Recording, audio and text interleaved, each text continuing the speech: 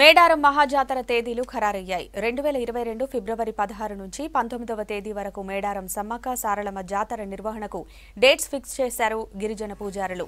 ములుగు జిల్లా తాడ్వాయి మండలం మేడారం గ్రామంలో ప్రతి రెండేళ్ళకోసారి సమ్మక్క సారలమ్మ మహాజాతరను ఘనంగా నిర్వహిస్తారు. వచ్చే ఏడాది నిర్వహించే జాతర తేదీలను ఖరారు చేశారు పూజారులు. రెండు వేల ఇరవై రెండు ఫిబ్రవరి పదహారు నుంచి పంతొమ్మిది వరకు జాతరను వైభవంగా నిర్వహిస్తామని చెప్పారు పూజారులు. మేడారంలో జాతర వివరాలను వెల్లడించారు. Música